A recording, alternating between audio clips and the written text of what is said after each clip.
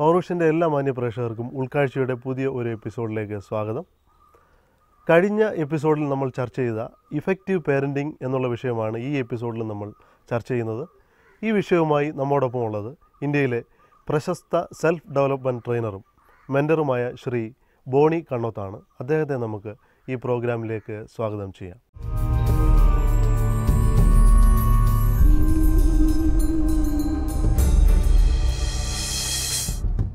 Hello sir ഉൾക്കാഴ്ചയിലേക്ക് സ്വാഗതം. Sir നമ്മുടെ ഈ കുട്ടികളുടെ പഠനം എന്നുള്ളതാണ് എല്ലാ മാതാപിതാക്കളും വളരെ പ്രാധാന്യത്തോടു കൂടി നോക്കിക്കാണുന്ന ഒരു കാര്യമെന്ന് പറയുന്നത്. എന്നാൽ ചില മാതാപിതാക്കൾ കുട്ടികളെ അവരുടെ കഴിവിനനുസരിച്ച് പഠിക്കാനായിട്ട് ഒരു സ്വാതന്ത്ര്യം കൊടുക്കുന്നവരുണ്ട്. എന്നാൽ കൂടുതൽ മാതാപിതാക്കളും ചെയ്യുന്ന ഒരു കാര്യം എന്ന് പറഞ്ഞു കഴിഞ്ഞാൽ അവരെ നിർബന്ധപൂർവം വഴക്ക് പറഞ്ഞ് അല്ലെങ്കിൽ ചെറിയ കുട്ടികളാണെങ്കിൽ ചെറിയ ശിക്ഷകളൊക്കെ കൊടുത്ത് ഇങ്ങനെയാണ് പഠിപ്പിക്കാറ്.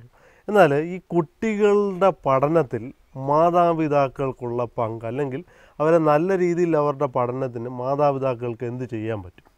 നല്ലൊരു ചോദ്യമാണ്. വളരെ ഇമ്പോർട്ടന്റുമാണ് ഒരു ചോദ്യം അങ്ങോട്ട്. നമ്മളെല്ലാവരും ഇത്ര നാളായിട്ട് നമ്മൾ പഠിച്ചു. സ്കൂളിൽ പഠിച്ചു കോളേജിൽ പഠിച്ചു. ഏതെങ്കിലും പാരന്റോ ടീച്ചറോ എങ്ങനെ പഠിക്കണം എന്ന് പഠിപ്പിച്ചു തന്നിട്ടുണ്ടോ? അത് ചില അധ്യാപകർ പറഞ്ഞു തരാറുണ്ട് ചില ടിപ്സൊക്കെ. പക്ഷേ ഭൂരിഭാഗം മാതാപിതാക്കൾക്കും അതിനെപ്പറ്റിയുള്ള ഒരു അറിവ് കുറവായിരുന്നു. ഇപ്പോഴത്തെ ആധുനിക കാലത്ത് ചിലവർക്കൊക്കെ അങ്ങനെ ഒരു സംഗതി സിലബസിലില്ല. ഇല്ല. ഇല്ല ചില പാരൻസ് പറയും എടാ നിർത്തി നിർത്തി വായിക്കൂ. നല്ല മെനയായിട്ട് വൃത്തിയായിട്ട് എഴുതു. ഇങ്ങനെ കുറച്ച് ടിപ്സ് തരും. പക്ഷേ ഇന്ന് സൈക്കോളജിസ്റ്റ് ഒത്തിരി റിസർച്ച് ചെയ്ത് ഒത്തിരി കാര്യങ്ങൾ കണ്ടുപിടിച്ചിട്ടുണ്ട്. ഓക്കെ അപ്പോൾ സൈക്കോളജി നിരന്തരം ഇപ്പോഴും അവർ റിസർച്ച് ചെയ്തുകൊണ്ടിരിക്കുകയാണ്. എങ്ങനെ ഒരു സ്റ്റുഡന്റിന്റെ ലൈഫ് കംഫർട്ടബിൾ ആക്കാം? ഓക്കെ കാരണം ഇന്ന് സ്റ്റുഡൻസിന്റെ സ്ട്രെസ് ലെവൽ വളരെ ഹൈ ആണ്. പേരൻസിന്റെ പ്രതീക്ഷകൾ ഒത്തിരി ഹൈ ആണ്. ഓക്കെ അപ്പോൾ എങ്ങനെ കുട്ടികളുടെ ലൈഫ് കംഫർട്ടബിൾ ആക്കാം? അതിൽ ഒരു കാര്യം ഒരു പോയിന്റ് എനിക്ക് പറയാനുള്ള ഇതാണ്. പിള്ളേർ എപ്പോഴാണ് പഠിക്കേണ്ടത്? രാവിലെയാണോ വൈകിട്ടാണ് പഠിക്കേണ്ടത്? ഇപ്പോൾ വീട്ടിൽ പഠിക്കുമ്പോൾ സെൽഫ് സ്റ്റഡീസ് എപ്പോഴാണ് പഠിക്കണം എന്നല്ല രാവിലെയാണോ വൈകിട്ടാണോ? യഥാർത്ഥത്തിൽ നമ്മൾ എന്തൊക്കെ നമ്മുടെ പാരൻസ് എന്താ നമുക്ക് പറഞ്ഞാറുള്ളത്? അന്നെന്നുള്ളത് അന്നന്ന് തന്നെ പഠിക്കുക. പക്ഷെ എപ്പോൾ പഠിക്കണം? രാവിലെ എണീറ്റ് പഠിക്കണോ? വൈകിട്ട് പഠിക്കണോ? അത് ആധുനിക മനഃശാസ്ത്രം പറയുന്നത് ഈ മൂന്ന് മണി മുതൽ ആറ് മണി വരെയുള്ള സമയം പഠിക്കാൻ വളരെ നല്ലതാണെന്നുള്ളത് ബ്രഹ്മമുഹൂർത്തം. എല്ലാ പാരൻസും പറഞ്ഞത് തന്നെ മക്കളെ രാവിലെ എഴുന്നേറ്റ് പഠിക്കണം. എന്താണെന്ന് ചോദിച്ചു കഴിഞ്ഞാൽ ബ്രഹ്മമുഹൂർത്തം. എന്താണ് ബ്രഹ്മമുഹൂർത്തം? ആ എല്ലാവരും പറയുന്നു അതുകൊണ്ട് ഞാനും പറഞ്ഞു. പിന്നെ പറ്റി ഒത്തിരി റിസർച്ചുള്ള കാര്യങ്ങളാണ്. സ്റ്റുഡൻസ് രണ്ട് ടൈപ്പ് സ്റ്റുഡൻസ് ഉണ്ട്. ഒന്ന് ഔൾ ടൈപ്പ് വേറൊന്ന് lark type lark type students ആണെങ്കിൽ അത് അവർ നാച്ചുറലി രാവിലെ എഴുന്നേറ്റ് ഇരുന്ന് പഠിക്കും. അവർ എനർജി ലെവൽസ് വളരെ ഹൈ ആയിരിക്കും രാവിലെ. ചില സ്റ്റുഡൻസ് ഔൾ ടൈപ്പാണ് മൂങ്ങ പോലെ രാത്രി എത്ര അവർക്ക് കൂടുതൽ കോൺസെൻട്രേഷനും കംഫർട്ടും എനർജി ലെവൽസും വൈകിട്ടായിരിക്കും. അപ്പോൾ അപ്പോൾ അവർക്ക് വൈകിട്ട് പഠിക്കാനാണ് താല്പര്യം. പിന്നെ പാരൻസ് പറയില്ല രാവിലെ പഠിക്കും. അപ്പം ഞാൻ എന്റെ അഭിപ്രായം ഇതാണ് അത് അങ്ങോട്ട് വിട്ടുകൊടുത്തോളൂ രാവിലെ പഠിക്കാൻ കംഫർട്ടുള്ള ലാർ ടൈപ്പ് ആണെങ്കിൽ രാവിലെ പഠിച്ചോട്ടെ ഔട്ട് ടൈപ്പ് ആണെങ്കിൽ വൈകിട്ട് പഠിച്ചോട്ടെ. എന്തുകൊണ്ട് രാവിലെ പഠിക്കണം എന്ന് പറഞ്ഞത് കാരണം ഈ പറഞ്ഞ ബ്രഹ്മമുഹൂർത്തം അത് മൂന്ന് മണി തൊട്ട് ആറ് മണി വരെ. Three A M to six A M okay ആ സമയത്ത് പ്രകൃതിയിൽ എനർജി ലെവൽസ് ഫുള്ളായിരിക്കും ഹൺഡ്രഡ് പെർസെന്റ് പോസിറ്റീവ് എനർജിയാണ് ഓക്കെ റിസോഴ്സ്ഫുൾ ടൈമാണ് അപ്പോൾ അതിന് റിസർച്ചുകൾ നടന്നിട്ടുണ്ട് സാർ? നടന്നിട്ടുണ്ട്. ഈ ബർമ്മപുരത്തിന് എഗെയിൻ മൂന്ന് സെക്ഷനുണ്ട് ഫസ്റ്റ് സെക്ഷൻ എന്ന് പറഞ്ഞാൽ മൂന്ന് മണി തൊട്ട് നാല് മണി വരെ. ഈ സമയത്ത് നമ്മൾ പഠിച്ചു കഴിഞ്ഞാൽ പഠിക്കുന്ന ഡബിൾ നമ്മുടെ ബ്രെയിനിൽ കയറുമെന്ന് പറഞ്ഞു. പ്രാർത്ഥിച്ച് ഈ ടൈമിൽ പ്രാർത്ഥിച്ചു കഴിഞ്ഞാൽ ചോദിക്കേണ്ട ഡബിൾ നമുക്ക് കിട്ടുന്നതാണ് അത്രയ്ക്ക് ഹൈ എനർജി ലെവൽസാണ് പ്രകൃതിയിലുള്ളത് രണ്ടാമത്തത് ഫോർ ടു ഫൈവ് ഈ സമയത്ത് നമ്മൾ ചോദിക്കേണ്ട തുല്യമായിട്ട് കിട്ടും പഠിക്കേണ്ട തുല്യമായിട്ട് കിട്ടും. പിന്നെ അടുത്ത മൂന്നാമത്തത് ഫൈവ് ടു സിക്സ് ഈ സമയത്ത് പഠിച്ചു കഴിഞ്ഞാൽ പഠിക്കണതിന്റെ പകുതിയെ നമുക്ക് കിട്ടും പ്രാർത്ഥിക്കുമ്പോൾ ചോദിക്കേണ്ട പകുതി കിട്ടും. ഇത് ഞാൻ പറഞ്ഞതല്ല കണ്ടുപിടിച്ചതല്ല. ഇത് ഏൻഷ്യൻ വിസ്ഡം അനുസരിച്ചുള്ള പഠനമാണ് യാമങ്ങൾ എന്ന് പറയും. നാല് യാമങ്ങളുണ്ട്. ആ, നാല് യാമങ്ങളിൽ ഒരു യാമമാണ് ബ്രഹ്മമുഹൂർത്തം. അതിൽ തന്നെ മനുഷ്യന്റെ ഓരോ യാമത്തിലും മനുഷ്യന്റെ ആരോഗ്യവും വ്യത്യാസപ്പെട്ടു നമ്മളുടെ എനർജി ലെവൽസ് കോൺസെൻട്രേഷൻ ലെവൽസ് പ്രകൃതി എനർജി ലെവൽസ് ഇതെല്ലാം ഏറ്റവും ഉത്തമം ത്രീ ടു ഫോർ ആണ്. പക്ഷെ ഒരു സ്റ്റുഡന്റിനോട് രാവിലെ മൂന്ന് മണിക്ക് കഴിഞ്ഞിട്ട് പഠിക്കാൻ പറഞ്ഞു കഴിഞ്ഞാൽ എഴുന്നേക്കുക ബുദ്ധിമുട്ടാണ്. പക്ഷെ പ്രശസ്തമായിട്ടുള്ള ഇങ്ങനെ ഒരു കോട്ടിംഗ് ഉണ്ട്. Early to bed early to rise പക്ഷേ അതിൽ ടൈമിംഗ് പറയുന്നില്ല. എയർലി ടു ഏർലി പറയുമ്പോൾ എത്രയാണ്? ഇപ്പം ഞാൻ പറഞ്ഞത് ഏറ്റവും ബെസ്റ്റ് ടൈം ഇരുപത്തിനാല് മണിക്കൂറിൽ ഏറ്റവും best time three to four ആണ്. മൂന്ന് മണിക്ക് കുട്ടിയെ വളർത്തി കഴിഞ്ഞാൽ എഴുന്നേക്കുക ഇല്ല. ഞാൻ എഴുന്നേക്കാറുണ്ട് നിങ്ങൾ ചിലപ്പോൾ എഴുന്നേക്കിയിരിക്കും ഞാൻ എല്ലാ ദിവസവും രാവിലെ മൂന്ന് മണിക്ക് എഴുന്നേക്കും അതിനുള്ള സാറിന് വ്യക്തിപരമായിട്ടുള്ള ഒരു വ്യത്യാസം എന്ത് ഈ ത്രീ ടു ഫോർ ഞാൻ പറഞ്ഞ ഏറ്റവും റിസോഴ്സ്ഫുൾ അത് അത് യൂട്ടിലൈസ് ചെയ്യുക.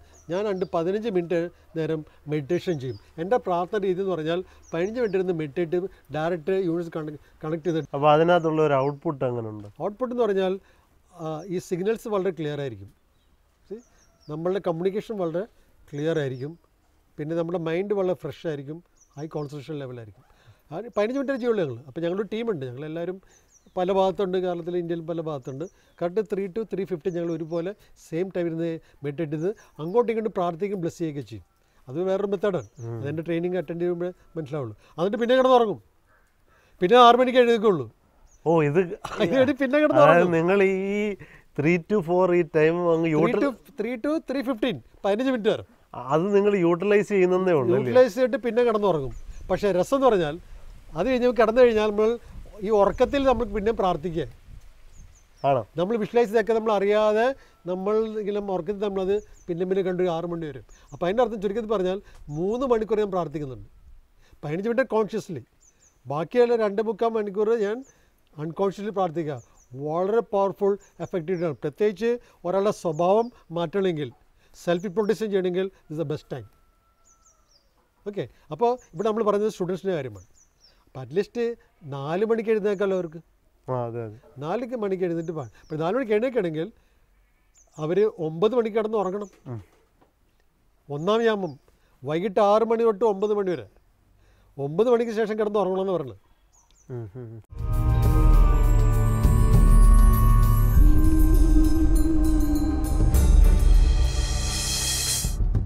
പ്രത്യേകിച്ച് കൊച്ചു കുട്ടികളെ പോലും ഒമ്പത് മണിക്ക് മുമ്പ് ഉറക്കണമെന്നുള്ളതാണ് പറയുന്നത്. അതെ. പ്രകൃതിയുടെ ഒരു നിയമമുണ്ട്. നമ്മൾ പ്രകൃതിയുടെ ഭാഗമാണ്. നമ്മുടെ സിസ്റ്റം പ്രകൃതിയുടെ സിസ്റ്റമായിട്ടും ഒത്തുപോകുന്നതാണ്. അതിന് വിപരീതമായിട്ട് എന്ത് ചെയ്താലും നമുക്ക് പ്രോബ്ലം ഉണ്ടാകും അപ്പോൾ ഈ ഒന്നാം യാമം ഒമ്പത് മണിക്ക് പണ്ട് നമ്മുടെ കാർന്നുമാർ ചെയ്തതാണ്. ആറ് മണി ശേഷം സ്ത്രീകളെ പുറത്തു വിടില്ല പിള്ളേർ പുറത്തു വിടില്ല പ്രാർത്ഥിക്കാം ചോറുണ്ണാം പിന്നെ സുഖമായി കിടന്ന് ഉറങ്ങിയിടാം. ഇത്ര ഉള്ളായിരുന്നു. പക്ഷേ ഇതെല്ലാം നശിപ്പിച്ചത് നമ്മളുടെ ടെലി വിഷം പറയാതെ വയ്യ. അല്ലേ? പ്രത്യേകിച്ച് ടി വി സീരിയലുകൾ. ഈ ടെ- ആൾക്കാരുടെ എല്ലാ സമതലയും തെറ്റിപ്പി തെറ്റിച്ചത് ടെലിവിഷനാണ്. ഇന്ന് പാതിര വരുന്നു ടെലിവിഷൻ കാണുന്നു ആ രണ്ടാം യാമം നയൻ ടു ട്വൽവ് അല്ലേ? ഈ സമയത്ത് നമ്മൾ കിടന്ന് ഉറങ്ങുന്ന ടൈമാണ് ഇപ്പം ചിലർ പരീക്ഷ വരുമ്പോഴും ഈ പറഞ്ഞ പന്ത്രണ്ടിലിരുന്ന് പഠിക്കും. തെറ്റാണ്. അവർ നേരത്തെ വൈകിട്ട് ആറോട്ട് പഠിച്ചോട്ട് ഒമ്പത് ആയപ്പോൾ സുഖമായിട്ട് കിടന്ന് ഉറങ്ങിക്കൊള്ളാം അണ്ട് രാവിലെ നാല് മണിക്ക് എഴുന്നേൽക്കുക. അതാണ് early to bed early to കെട്ടം അപ്പം എത്ര പഠിക്കുകയാണെങ്കിലും ശരി ഒമ്പത് ശേഷം പഠിക്കരുത്. ഒമ്പതിന് ശേഷം ബ്രെയിൻ ഡിസൈൻ ചെയ്തിരുന്നത് ഉറങ്ങാൻ വേണ്ടിയിട്ടുള്ളതാണ്. നമ്മൾ മനുഷ്യ സിസ്റ്റം അനുസരിച്ച് നമ്മൾ ഉറങ്ങണം. പിന്നെ മൂന്നാം twelve to three A M law ഈ പ്രകൃതിയിൽ ഏറ്റവും നെഗറ്റീവ് എനർജിയുള്ള ടൈമാണെന്ന് പറഞ്ഞു. അപ്പോൾ ആ സമയം അതിന് വേണ്ടി ആ സമയത്ത് പുറത്തിറങ്ങരുത് കംപ്ലീറ്റ് നെഗറ്റീവ് എനർജിയാണ് അത് പ്രൂവ് ചെയ്ത് തരാം. കറക്റ്റ് അവർ പറഞ്ഞത് ശരിയാണെന്നുള്ളത്. ഇന്ന് ഏറ്റവും കൂടുതൽ മാനസിക പ്രശ്നങ്ങൾ കണ്ടുവരുന്നത് ഐ ടി ഫീൽഡിലാണ്. കാരണം പന്ത്രണ്ട് മൂന്ന് മണി വരെയും അവർ വർക്ക് ചെയ്യുന്നു അമേരിക്കൻ ടൈം വെച്ച്. നമ്മൾ ഉറങ്ങേണ്ട ടൈമാണ് നമ്മൾ ഉറക്കം എഴുതിണ്ടിങ്ങനെ വർക്ക് ചെയ്യുമ്പോഴത്തേക്കും നമ്മുടെ സിസ്റ്റത്തിന് എഗെയിൻസ്റ്റാണ് വർക്ക് ചെയ്യണത്. അതനുസരിച്ചിട്ട് ബ്രെയിനിൽ കെമിക്കൽ ചേഞ്ചസ് വരുന്നു. അതായത് നമ്മുടെ ഒരു ബയോളജിക്കൽ ക്ലോക്ക് ഉണ്ട് ക്ലോക്ക് അത് അപ്സെറ്റ് ആവുന്നു. മാനസിക പ്രശ്നങ്ങൾ ഉണ്ടാകുന്നു അതുകൊണ്ട് അതിനെ തുടർന്ന് അവരുടെ സ്ട്രെസ് വർദ്ധിക്കുന്നു. അവരുടെ മൂല്യങ്ങൾ നശിക്കുന്നു. മദ്യപാനം. ഡ്രഗ്സ് അങ്ങനെ എല്ലാ ക്യാരക്ടേഴ്സ് പോലെയുള്ളത് ആ ഫീൽഡിലാണ് മനസ്സിലായി. ഇപ്പം നിങ്ങൾ സാറൊരു എഞ്ചിനീയറിംഗ് കോളേജ് പ്രൊഫസറാണല്ലോ ഈ വർഷം ഐ ടി ഫീൽഡിൽ അഡ്മിഷൻ ഒക്കെ ഉണ്ടായിരുന്നു. കൂടുതലാണ് അല്ലെങ്കിൽ കുറവായിരുന്നു. ഐ ടി ബ്രാഞ്ച് ഈ പ്രാവശ്യം അറുപതിൽ നാൽപ്പത് പേരോളം. ഈ വർഷം പൊതുവേ ആ ഫീൽഡിൽ കാരണം എല്ലാവർക്കും മനസ്സിലായി തുടങ്ങി. സംഗതി പൈസ കൂടുതൽ കിട്ടും ആ ഫീൽഡിൽ പക്ഷേ അത് നമ്മളുടെ ലൈഫ് മാരീഡ് ലൈഫ് അപ്സെറ്റ് ആവുന്നു പേഴ്സണൽ ലൈഫ് അപ്സെറ്റ് ആവുന്നു കാശ് മാത്രം. പെട്ടെന്ന് കാശ് വരുന്നു ഈ ചെറു പിള്ളേർക്ക് ഇത്രയും പൈസ ഹാൻഡിൽ ചെയ്യാറില്ല അങ്ങനെ ദുസ്വഭാവങ്ങൾ അപ്പോൾ ആ ഫീൽഡിൽ നല്ലവരുണ്ട് കേട്ടോ ഞാൻ എല്ലാവരും അടച്ച് മോശമൊന്നും പറയുന്നില്ല. ഇത് പിടിച്ചിരിക്കുന്ന പിള്ളേരുണ്ട്. പക്ഷെ ആദ്യം അത് പ്രകൃതി നിയമത്തിന് എഗൻസ്റ്റാണ് അപ്പോൾ കഴിയുന്നത് ആ സമയത്ത് വർക്ക് ചെയ്യാതിരിക്കുക പിന്നെ വല്ലപ്പോഴും നൈറ്റ് ഡ്യൂട്ടി ഇപ്പോൾ ഒരു പോലീസ് നഴ്സുമാർ ഡോക്ടർമാർ ഇറ്റ്സ് ഓക്കെ ബട്ട് റെഗുലർലി എല്ലാ ദിവസവും ആ സമയത്ത് വർക്ക് കഴിഞ്ഞാൽ ബ്രെയിൻ അപ്സെറ്റ് ആവും.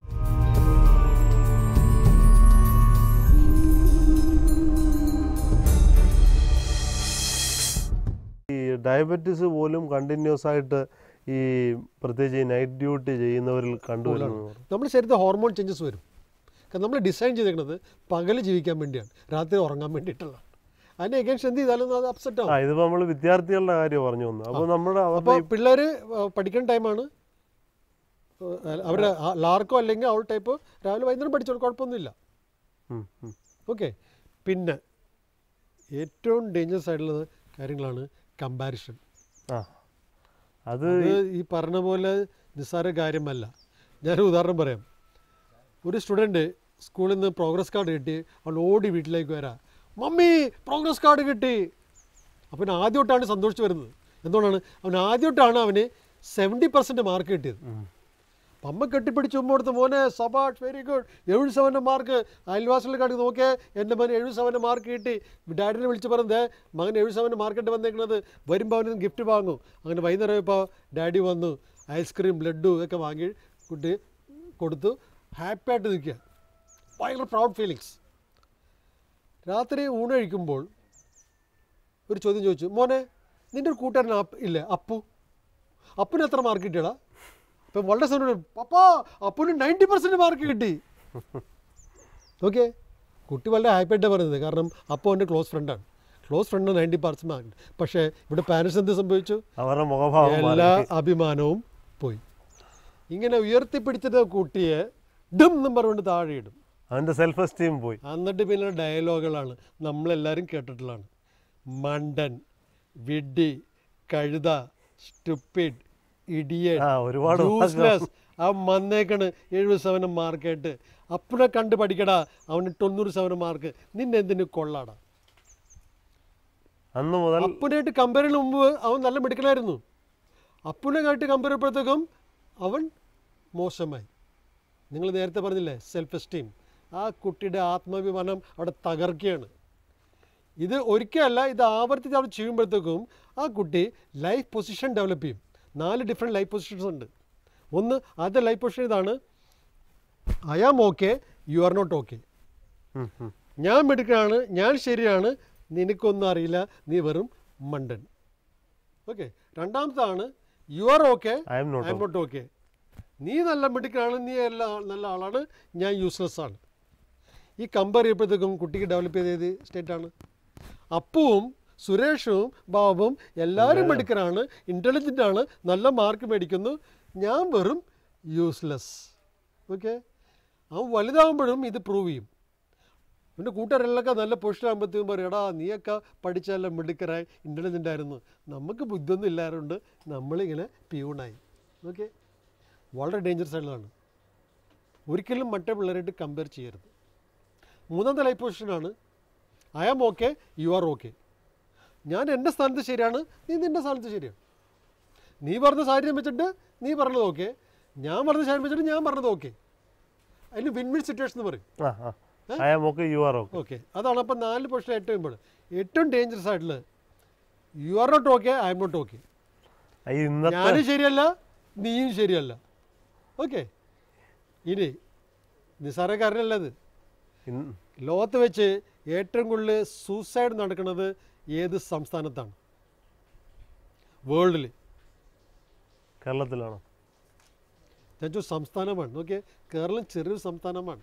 പക്ഷേ ലോകത്ത് വെച്ച് ഏറ്റവും കൂടുതൽ ആത്മഹത്യ നടക്കുന്നത് കേരളത്തിലാണ്. സംഗതി കുറഞ്ഞു വരുന്നുണ്ട് പക്ഷേ ഇപ്പോഴും നമ്മൾ നമ്പർ വൺ ഈ സൂസൈഡിൽ അവരുടെ ഈഗോ സ്റ്റേറ്റ് ആണ് ഈ പറഞ്ഞത്. അല്ലെങ്കിൽ ലൈഫ് പോസ്റ്റിനാണ് പറഞ്ഞ I'm not okay you are not okay. ഞാനും ശരിയല്ല ഈ ലോകവും ശരിയല്ല. ഞാൻ ഈ ലോകത്തിന് പറ്റിയ ഒരാളല്ല. ഈ ലോകം എനിക്കും പറ്റിയ ഒരാളല്ല. ലോകത്തിന് എന്നെ വേണ്ട എനിക്ക് ലോകത്തെ വേണ്ട. I'm useless the world is useless so തൂങ്ങിച്ചാകുക. പിന്നെ സൂസൈഡിൽ ഒരു കാര്യം ശ്രദ്ധിച്ചു കാണും. ഭർത്താവ് ഭാര്യയ്ക്കും മക്കൾക്കും വിഷം കൊടുത്ത് കൊന്നിട്ടാണ് തൂങ്ങിച്ചാകുന്നത്. ഉം. അല്ലെങ്കിൽ അമ്മ മക്കൾക്ക് വിഷം കൊടുത്താണ് തൂങ്ങിച്ചാകുന്നത്.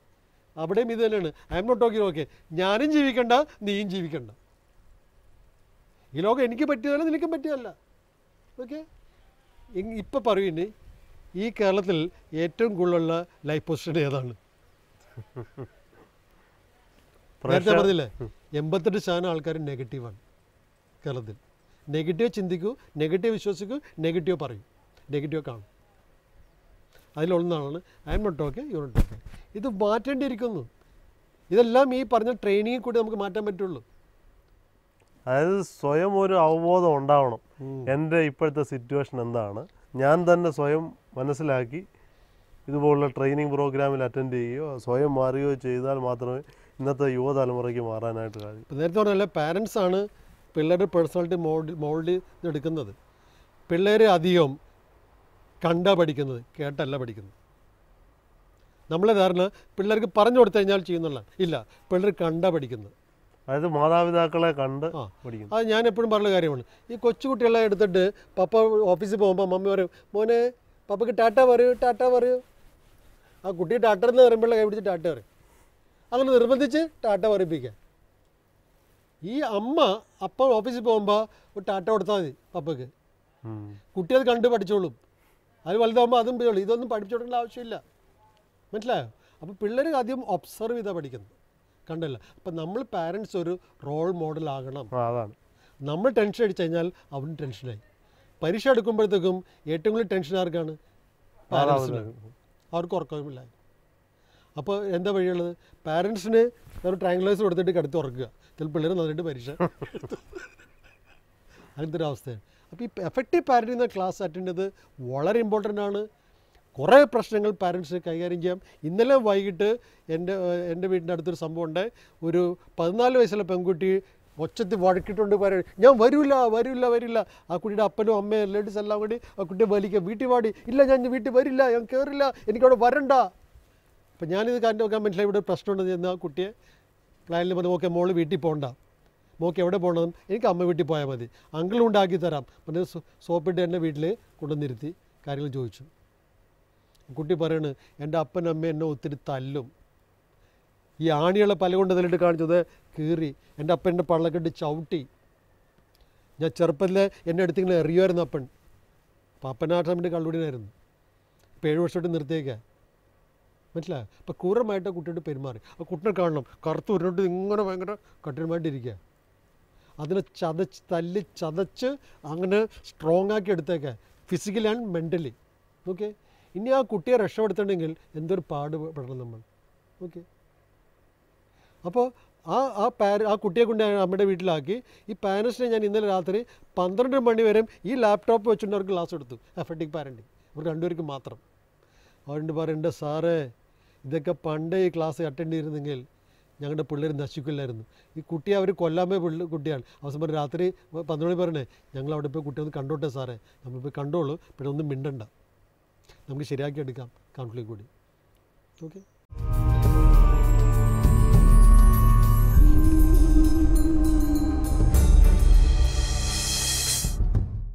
സാർ ഇതുമായിട്ട് ബന്ധപ്പെട്ട് ചോദിക്കുമ്പോൾ സാധാരണ ഈ എൻജിനീയറിംഗ് കോളേജിലൊക്കെ സ്റ്റുഡൻസ് നല്ല മാർക്കോട് കൂടിയാണ് വരുന്നത്. അതേസമയം ഇവർ ഈ എൻജിനീയറിംഗ് കോളേജ് മാത്രമല്ല ഏത് പ്രൊഫഷണൽ കോഴ്സിനായാലും. പക്ഷേ ഇവരിവിടെ ഫസ്റ്റ് ഇയർ ജോയിൻ ചെയ്തു. ആദ്യമൊക്കെ വളരെ താല്പര്യത്തോടു കൂടിയാണ് വരുന്നത്. പക്ഷേ ഇവരുടെ കൂട്ടുകാരുടെ കൂടെ കൂടി അല്ലെങ്കിൽ എന്തുകൊണ്ടോ ഇവർ വളരെ ഇവരുടെ പെർഫോമൻസ് കുറഞ്ഞു പോകുന്നു. അതായത് ഈ പ്ലസ് ടുവിലൊരു എൺപത് ശതമാനം മാർക്ക് നേടിയ ഒരാൾ ജയിക്കാൻ പോലും പറ്റാത്ത ഒരു അവസ്ഥയിലേക്ക് പലപ്പോഴും മാറാറുണ്ട്. ഇതിനകത്ത് ഉള്ള യഥാർത്ഥ കാരണം എന്താണ്? ഓക്കെ ഇത് നല്ലൊരു പോയിന്റാണ് പറഞ്ഞത്. ഇത് നമ്മൾ പറയും പിയർ പ്രഷർ എന്ന് പറയും. അതിന് ഒരു കാര്യം പറഞ്ഞുകൊണ്ട് ഈ എൻജിനീയറിങ് അല്ലെങ്കിൽ മെഡിസിൻ അഡ്മിഷൻ കിട്ടാൻ വേണ്ടി പിള്ളേർ ഒരു രണ്ട് വർഷമെങ്കിലും കഠിന അധ്വാനം വേണം. പ്ലസ് വണ്ണിന് പഠിക്കുമ്പോൾ പ്ലസ് ടുന് പഠിക്കുമ്പോൾ രാവിലെ എണീക്കണു ട്യൂഷന് പോകുന്നു അല്ലെങ്കിൽ എൻട്രൻസ് കോച്ചിങ്ങിന് പോകുന്നു. അതായത് ഈ രണ്ട് വർഷം വളരെ സ്ട്രെസ്ഫുള്ളായിട്ടാണ് കുട്ടി പഠിക്കുന്നത്.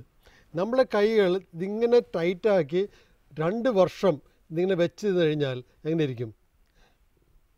രണ്ട് വർഷം കഴിയുമ്പോഴത്തേക്കും പെട്ടെന്ന് ആ ഗോൾ അച്ചീവ് ചെയ്തു. ഒരു എഞ്ചിനീയറിംഗ് കോളേജിലോ മെഡിസിനോ അഡ്മിഷൻ കിട്ടി.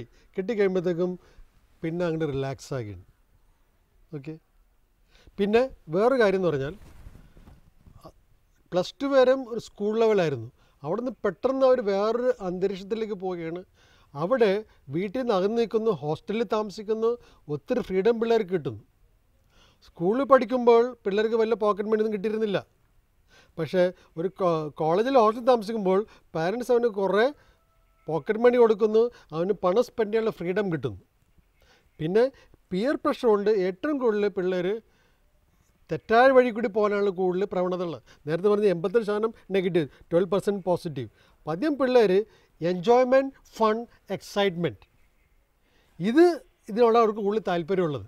ഒന്നാമത് പണം കിട്ടുന്നു ഫ്രീഡം കിട്ടുന്നു. ഡിസിഷൻ എടുക്കാൻ പറ്റുന്നു. അങ്ങനെ അവർക്ക് ഈ സുഖം തേടിപ്പോവും. അപ്പോൾ ഈ പിള്ളേർക്ക് ഇന്നത്തെ ഏറ്റവും വലിയ വീക്ക്നെസ് പറഞ്ഞാൽ അവർക്ക് എപ്പോഴും എക്സൈറ്റ്മെന്റ് വേണം. ശരിക്കും അവർക്ക് വേണ്ടത് ഹാപ്പിനെസ് അല്ല. നമ്മൾ പണ്ട് കാലത്ത് നമ്മുടെ വീട്ടിൽ കോഴി ഇറച്ചി ഡെയിലി വെക്കില്ല. വല്ല പെരുന്നാളോ വല്ല വെക്കുമ്പോൾ വരുമ്പോഴേ കോഴി വെട്ടുള്ളൂ. അന്ന് എല്ലാവരും ഭയങ്കര ഹാപ്പിയാണ് ഇന്ന് കോഴി ഇറച്ചിയാണെന്നുള്ളതാണ് ഓക്കെ പക്ഷെ ഇന്ന് അങ്ങനെയാണോ? ഇന്ന് എപ്പോൾ നമുക്ക് വേണമെങ്കിലും കോഴി ഇറച്ചിയുണ്ട് അപ്പോൾ പണ്ട് നമുക്കുണ്ടായിരുന്ന ഹാപ്പിനെസ് ഇന്ന് പിള്ളേർക്ക് ഹാപ്പിനെസ് ഇല്ല. അപ്പോൾ ഡെയിലി കോഴി ഇറച്ചി. പിന്നെ അവർക്ക് എന്താണ് എക്സൈറ്റ്മെന്റ് അവർ പുറത്തുപോയി ഭക്ഷണം കഴിക്കുമ്പോഴാണ്. അതും ഈ പറഞ്ഞ പോലുള്ള മക്ഡൊണാൾഡ് ബർജർ അല്ലെങ്കിൽ നമ്മളുടെ പിസ്സ അങ്ങനെയുള്ള മോഡേൺ ഫുഡിനോട് കൂടുതൽ താല്പര്യം. ആണ്. ഓക്കെ പിന്നെ അവർക്ക് they want fun they want freedom എല്ലാവർക്കും ബൈക്ക് വേണം മൊബൈൽ വേണം. ഇതെല്ലാം അവർ പ്രൊഡക്റ്റീവ്ലി അല്ല ഉപയോഗിക്കുന്നത്. അവരുടെ ഫൺ ആൻഡ് എൻജോയ്മെന്റാണ് ശരിക്കും പറഞ്ഞാൽ ഒരു എഞ്ചിനീയറിംഗ് കോളേജിൽ പഠിക്കുന്ന കുട്ടിക്ക് നന്നായിട്ട് പഠിക്കുന്ന ഒരു ബൈക്കിന്റെ ആവശ്യമില്ല ഈവൻ ഈ പറഞ്ഞ മൊബൈലിന്റെ ആവശ്യമില്ല. പഠിച്ചില്ലെങ്കിൽ അവൻ കോളേജിൽ പോവില്ല. പിന്നെ പാരൻസ് ഇത് വാങ്ങി കൊടുക്കുകയും ചെയ്യും. ഓക്കെ അതുകൊണ്ട് എന്താ സംഭവിക്കുന്നത്? ഈ പിള്ളേർ റെസ്പോൺസിബിലിറ്റി എടുക്കുന്നില്ല. പണ്ട് നമ്മളൊക്കെ വളർന്നപ്പോഴത്തേക്കും നമുക്ക് കുടുംബത്തിൽ ഒത്തിരി റെസ്പോൺസിബിലിറ്റി ഉണ്ടായിരുന്നു. പ്രത്യേകിച്ച് മൂത്ത പുത്രനാണെങ്കിൽ ഇളയങ്ങളെ നോക്കണം സ്കൂളിൽ കൊണ്ടുവരണം തിരിച്ചുകൊണ്ടുവരണം അങ്ങനെ ഒത്തിരി റെസ്പോൺസിബിലിറ്റി ഉണ്ടായിരുന്നു. വീട്ടിലെ കാര്യങ്ങൾ നോക്കണം വീട്ടിൽ പശു ഉണ്ടെങ്കിൽ പുല്ല് പറിക്കാൻ പോകണം ഓക്കെ അങ്ങനെ പല റെസ്പോൺസിബിലിറ്റി ഉണ്ടായിരുന്നു. ഇന്നത്തെ പിള്ളേർക്ക് പാരൻസ് ഒരു റെസ്പോൺസിബിലിറ്റിയും കൊടുക്കുന്നില്ല. അവർക്കൊരു ഡിസിഷൻ എടുക്കാൻ അനുവദിക്കുന്നില്ല. എല്ലാ കാര്യങ്ങളും പാരൻസാണ് ചെയ്യുന്നത്. പണ്ട് നമ്മൾക്ക് എന്തിനും ഒരു ഫുട്ബോൾ വേണമെങ്കിൽ നമ്മൾ എത്ര നാൾ പാരന്റെ പുറകെ നടന്നാലാണ് ഒരു ഫുട്ബോൾ മേടിച്ച് തരിക? അത് വല്ല പള്ളി പെരുന്നാൾ വരുമ്പോൾ രണ്ട് രൂപയുടെ പന്ത് മേടിച്ച് തരും. ഇന്ന് അങ്ങനെയാണോ? ഇന്ന് പിള്ളേർ ആഗ്രഹിക്കുന്ന മുമ്പേ കളിപ്പാട്ടങ്ങളും ബൈക്കും സൈക്കിളും എല്ലാം വാങ്ങിക്കൊടുക്കുന്നു ഓക്കെ അവർ അതിന്റെ വില അറിയുന്നില്ല. അപ്പോൾ പിള്ളേർ ഇന്നത്തെ പിള്ളേർ ദേ ഡോണ്ട് ടേക്ക് റെസ്പോൺസിബിലിറ്റീസ് അപ്പോൾ അതിന് പാരൻസ് വളരെ കെയർഫുൾ ആയിരിക്കണം. ചെറുപ്പത്തിൽ ചെറിയ ചെറിയ റെസ്പോൺസിബിലിറ്റീസ് അവർക്ക് കൊടുക്കണം. രണ്ടാമത്തത് അക്കൗണ്ടബിലിറ്റി ഈ പണം ഈ പിള്ളേർ സ്പെൻഡ് ചെയ്യണ ദൂർത്തടിച്ച് കളഞ്ഞ പണം പാരൻസ് സമ്പാദിക്കുന്നതാണ്. അവരല്ല സമ്പാദിക്കുന്നത്. ഓക്കെ എത്ര പാരൻസ് ശ്രദ്ധിക്കുന്നുണ്ട്? പിന്നെ പിള്ളേർ മെല്ലാണ്ട് അവർ ഡെവലപ്മെന്റ് കാര്യമാണ് ഈ പറഞ്ഞ റെസ്പോൺസിബിലിറ്റി ആൻഡ് അക്കൗണ്ടബിലിറ്റി പാരൻസ് എപ്പോഴും മക്കൾക്ക് പറഞ്ഞു കൊടുക്കുന്ന കാര്യമാണ് അവർ വരുമാനം എത്രയുണ്ട്? എന്തോരം ചിലവുണ്ട്? എന്തോരം ബാധ്യതയുണ്ടെന്നുള്ളതാണ് എന്റെ ഒരു അയൽവാസി അദ്ദേഹം ഒരു സാധാരണ ഒരു ഡ്രൈവറാണ് മൂത്ത മകനെ ലണ്ടനിൽ വിട്ട് എം ബി എ ചെയ്യിച്ചു അവൻ എം ബി കഴിഞ്ഞ് തിരിച്ചു വന്നപ്പോൾ ചെറിയ ജോലിയൊന്നും അവന് പറ്റില്ല വലിയ ജോലി വേണം. പിന്നെ ഇവൻ എം ബി എ പഠിച്ചെന്നല്ലാതെ അവന് ആ ഒരു മാനേജറിന്റെ കപ്പാസിറ്റിയും ക്വാളിറ്റീസും ഒന്നും ഇല്ലാത്തതുകൊണ്ട് നല്ല ജോലി കിട്ടുന്നുമില്ല. പക്ഷേ അവൻ ഒരു കാര്യം ചെയ്തു. അവൻ കല്യാണം കഴിച്ചു. അവൻ ഇഷ്ടപ്പെട്ടിന്റെ കല്യാണം കഴിച്ചു. പണിയില്ല തൊഴിലില്ല അപ്പന്റെ ചെലവിൽ കഴിയുന്ന ആൾ തൊഴിൽ ഈ ഇവന് വിദ്യാഭ്യാസ ലോൺ എടുത്തിട്ടുണ്ട് പാരൻസ് ആ കാശ് തിരിച്ചടച്ചിട്ടില്ല. അപ്പോൾ എന്നാൽ ഇപ്പം അതിന്റെ പുറത്തോട്ട് ഒരു ബാധ്യത ഉണ്ടോന്ന് ഇവൻ കല്യാണം കഴിച്ച് ആ പെൺകുട്ടിയെ കൂടി നോക്കണം. ഒരു വർഷം കഴിഞ്ഞപ്പോഴത്തേക്കും കുട്ടി പ്രസവിച്ച് കുട്ടിയായി. ആ കുട്ടിയുടെ കൂടി റെസ്പോൺസിബിലിറ്റി ഏറ്റെടുത്തു ഓക്കെ എന്തുകൊണ്ടാണ്? കാരണം ചെറുപ്പത്തിൽ ഈ പിള്ളേരെയൊക്കെ ഈ വര വരവും ചെലവും പണത്തിന്റെ കാര്യങ്ങൾ പറഞ്ഞു കൊടുത്തിട്ടില്ല. അപ്പം ഇത്ര രൂപ വരുമാനമുണ്ട്. നിനക്ക് വിദ്യാഭ്യാസ ലോൺ എടുക്കുമ്പോൾ ഇത്ര വെച്ച് അടക്കണം. അത് അടക്കണമെങ്കിൽ നീയാണ് അടക്കേണ്ടത്. എങ്ങനെ അടക്കും? ഇതെല്ലാം ചർച്ച ചെയ്ത് ഒരു കണ്ടീഷനെത്തി വേണം അവന് പുറത്തേക്ക് വിടാനുണ്ട് ഇപ്പോൾ ഇദ്ദേഹം ഇപ്പോൾ അവന്റെ കുടുംബത്തെ നോക്കുന്നു. ഈ പറഞ്ഞ ലോണും അടക്കാൻ പറ്റാതെ ഇപ്പോൾ വീട് ജപ്തി ആകാനുള്ള സിറ്റുവേഷനിൽ വന്നിരിക്കുക ഓക്കെ അപ്പോൾ വളരെ ഇമ്പോർട്ടന്റ് ആണ്. പിള്ളേരെ നമ്മളുടെ വീട്ടിലെ വരുമാനവും ചെലവും ഇതെല്ലാം പിള്ളേർ അറിഞ്ഞിരിക്കണം. പിന്നെ നമ്മൾ പണം എവിടെ നിന്ന് വരുന്നു? സോഴ്സ് ഓഫ് ഇൻകം എന്തൊരു ബാധ്യത ഉണ്ട് എന്തൊക്കെ സമയത്ത് ബുദ്ധിമുട്ടുള്ളത്? ഇത് പിള്ളേരെ നമ്മൾ ചെറുപ്പത്തിൽ അറിഞ്ഞിരിക്കണം. എങ്കിൽ ഈ പ്രശ്നം നമുക്ക് സോൾവ് ചെയ്യാൻ പറ്റും.